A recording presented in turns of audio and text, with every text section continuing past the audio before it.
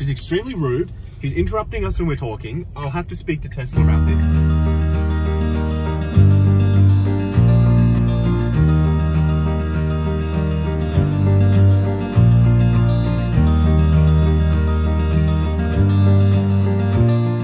Hey guys, it is Sunday the 15th and we are on our way to the Madman Anime Festival, which we only found out about yesterday because Justin happened to spot it on Facebook.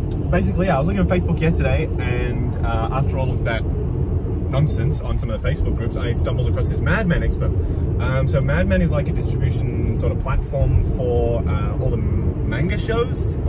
Anime. Manga, manga, anime. Yeah. They've got this like streaming platform called Anime Lab, um, which Little Kid Collection has an issue with because they're not up to date with the Dragon Ball Super. uh, but anyway, they own that, and they also are putting on this show. I don't exactly know what's going to be there. We're hoping it's going to be like a hell of a lot of Dragon Ball stuff. Uh, the Kakarot game is going to be there, so we get to play that super early. So I don't know how many of you actually like Dragon Ball, but we kind of like it.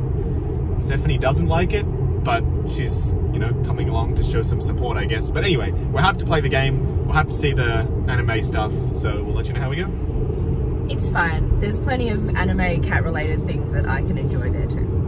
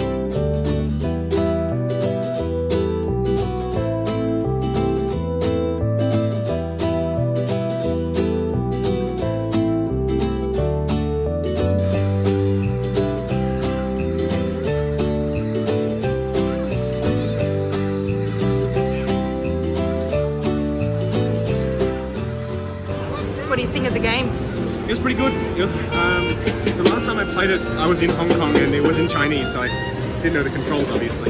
Um, but it's actually really fun. Some of the stuff, um, like the cutscenes, I wish you were actually like playing rather than just watching it happen. But so far, it's pretty good.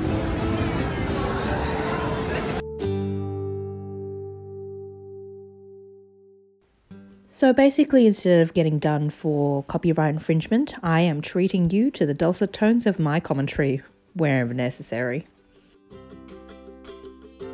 Basically, this festival or con is very much for the buyers and the sellers of Melbourne who are interested in anime.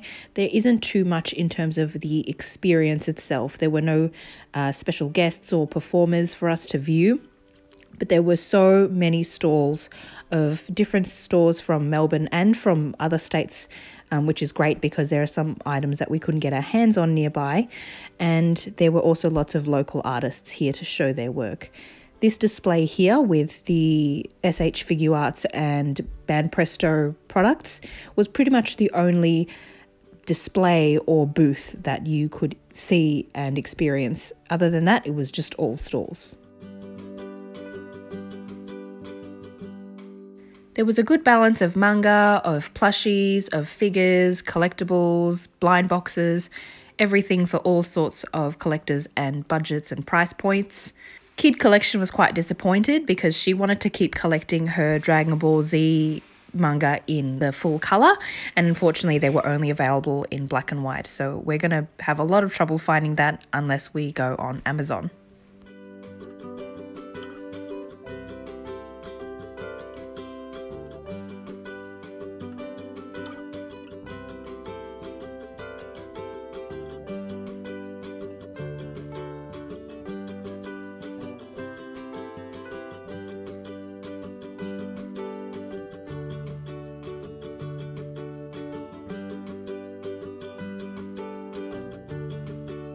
So I love these little Pokeball terrariums that these artists produce. They come to every con that I've ever been to in Melbourne, and the amount of detail that goes into them is awesome. Pricing wise, today they were a lot better than other times. Um, I even got one of the bigger ones, which I normally don't because of the price difference.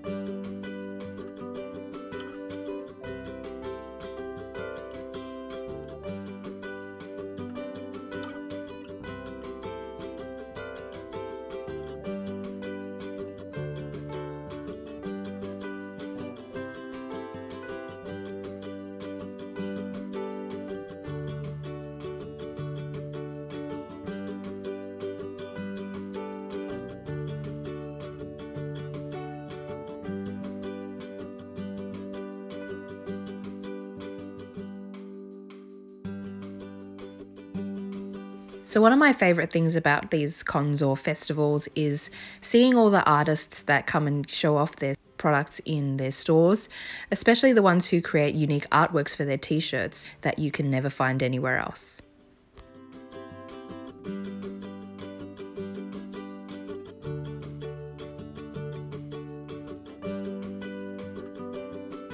Of the very few experiences that you could have, you could either play trading card games or go to a Tokyo style maid cafe, which I'm not really sure is a good thing.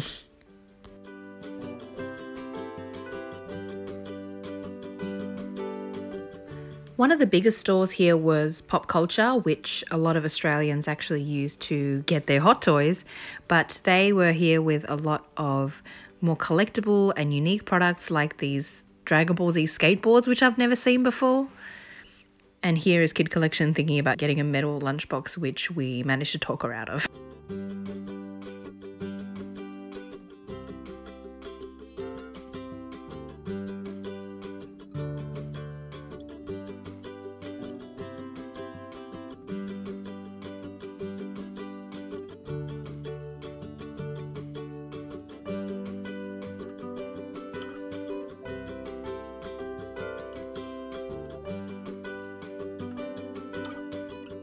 I would love to hear what any international viewers think of our pricing when it comes to figures. As you can see, generally you're looking at paying $300, $400 plus. Comment below what you guys are paying or what you expect to pay.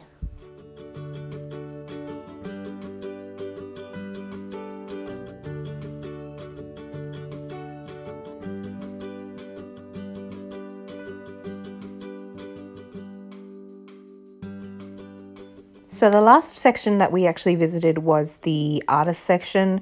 There are some really talented people here, people who make plushies, people who make badges and pins, jewelry, and of course those who create really cool digital and hand-drawn artwork of their favorite characters and animes and TV shows.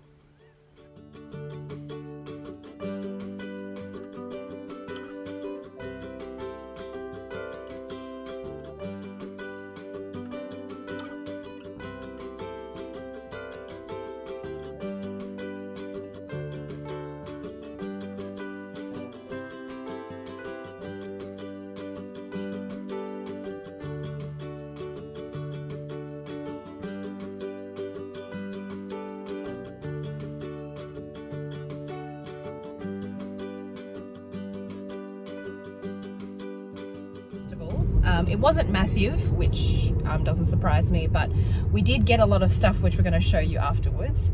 Um, there is a model set or model kit, yeah, sorry, model kit, yeah. that Justin got um, from Dragon Ball Z, which I think will need a little bit of painting or something to make it just that little bit extra um, because it's a lot of uh, smooth surfaces. So we're going to a hobby shop called uh, Metro Hobbies yeah. in the city, and there's also another store I think in Box Hill. You always want to paint your model before you assemble.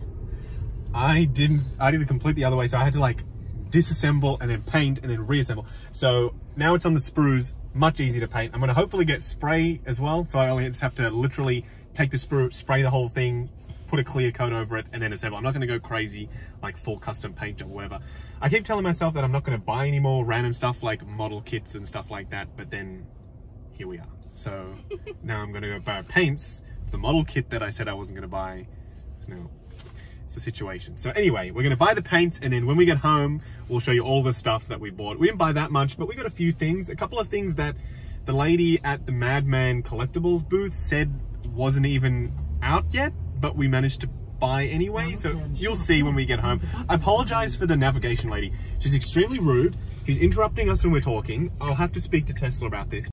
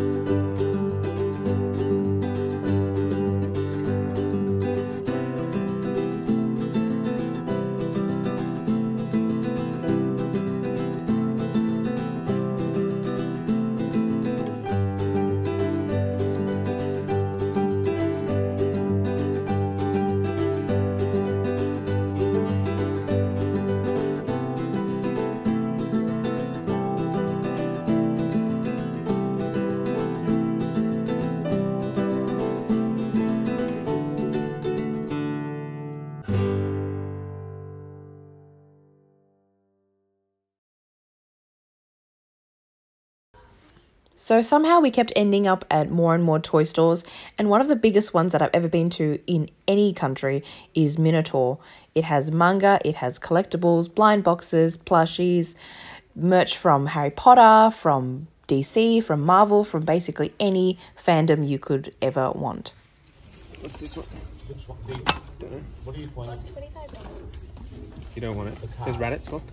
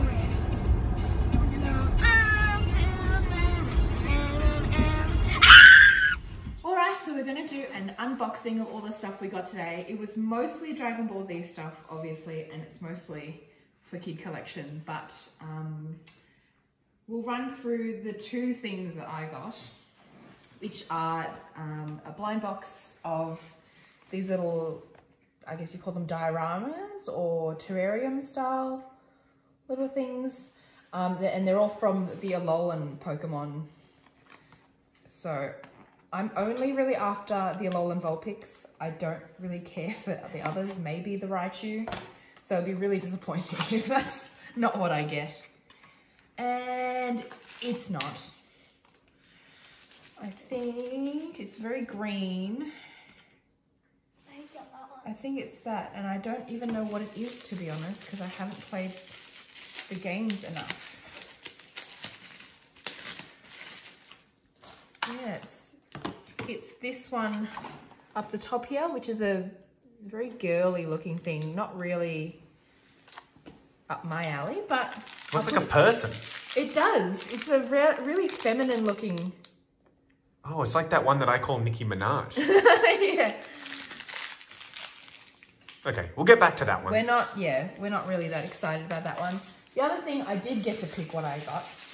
And I already have one of these, but a bit smaller, which is a handmade terrarium that these artists do. And they come to all the cons in Melbourne all the time. So I've been keeping my eye out for an Alolan Vulpix one, and there it is. I have a smaller one of Pikachu, and I was trying to save money by sticking with the small ones, but they were only $5 more for these bigger ones, so today I splurged the extra $5. And the rest is all Dragon Ball Z, so I don't know how, who wants to start? Well, that's my thing. So I only got one thing today, and it was this. So it's like a model kit motorcycle. Uh, and then to go with that, there are a bunch of paints that we got from Mr. Hobby in Melbourne. So you saw us obviously talking Metro about. Hobby. Oh, sorry, Metro Hobby. There is a store called Mr. Hobby though, but we didn't go there. Um, so I got some paints. You don't have to really go through the paints, um, but it is one of those sort of snap together build kits for those of you who are interested. Um, and we're going to put it with our uh, Hong Kong exclusive Bulma that we picked up, the Figuarts. So we don't really need to unbox everything, but you can see a bunch of parts and we will put that together and you'll probably see that in the next collection tour if I go over the Dragon Ball stuff. So that's the only thing that I got today. But the little one got like a whole heap of stuff, more than any of us, in fact. Um, this one I got from Critical Hit in the city. This one isn't from the convention, but it's a Super Saiyan 2 Goku. Um, and it was a on it was a discount, so I got from twenty dollars. Not bad, not bad. So yeah, she got a little discount on that. And then this is the Gogeta, right? Yep. Um, the Gogeta Super Saiyan 4 monkey version doing coming. Monkey version. Well, he's like the got the tail and everything. I don't know. I haven't seen GT yet. Um, and then this is half the the set of this thing at the back. Yeah. Um, So you want to tell us what happened with that? yes. The whole so story? There was this display cabinet, and it had all these cool ones that I really wanted. And so I looked. So it said available in like the area, the store thing. And so I checked, but it wasn't any there. And um, but then I found this, and then they're just like, oh, the other one sold out. Everyone only bought the Goku. And then I went to go ask if they had the Goku somewhere else, and they're just like, oh no, it hasn't even come out yet. So I'm just like, So you're angry. You're spicy about it. yeah, I'm spicy about it because I wanted the other ones. But but you got it online. Yeah. She's still getting it. Don't stress out. So it's going to look like that when it's done. She got one half. She got the Vegeta. The Goku is on the way. But it is strange that everyone just got the one, and apparently they display together on the same base. So it would look really empty if you just got the Goku and they sat by itself on the display. But each their own. Goku is the main character, I guess. And I got. Oh, yes. Show the bookmark. Yeah. So it's a hand-drawn Yes, artwork. it is. Yeah, and they had a bigger version as well, but I thought it needed a bookmark, so. Oh, yes. And you got to play the game, the new game. Give us a, a Oh, three-second yes. review of the new game. Um, I liked it. Um, Wow. except the con- I, I'm not very good at it. That's it? That's the full review? Yes. Excellent. Okay. So at the stand, I guess you call it, it was pretty empty. Fortunately for us, there weren't that many people queued up to play the game. So we got to play two different versions of the demo. And there was a guy standing there um, giving out these lanyards only to people who were wearing Dragon Ball merch. Reveal. So Justin had a t-shirt on, Kid Collection had a t-shirt on. I clearly do not, but I got one anyway. and they also came with a little promotional card for um, Cyberpunk, which is a game I'm really excited about coming out soon too. So um, that's just a little bonus, as well as a manga they gave us. I'll just pull one out quickly. So you guys got this at another con anyway, didn't you? I got it in San Diego. You did. Yeah. So there's one side there, the other side there. It's just a bonus in black and white if Just a little freebie. yeah. It's good for people who maybe didn't know anything about Dragon Ball but just happened to be there and this would be a great Kickstarter for someone to get into it. Pretty much. But that is everything that we got today. Um, in terms of Dragon Ball being at the con, there wasn't that much, even though that to me would probably be their biggest market. There was a lot of One Piece stuff, um, My Hero Academia, and then a lot of animes that I don't know about, unfortunately, and a little bit of Pokemon and other sort of cute cat inspired things. How do you feel about Dragon Ball not being the focus of the event? I'm I'm extremely angry because no one had an easy art except for this one place that I got this bookmark, and then this other um, picture that I really wanted, but it didn't. It was sold out, and I'm extremely furious because I that was I was really looking forward to that.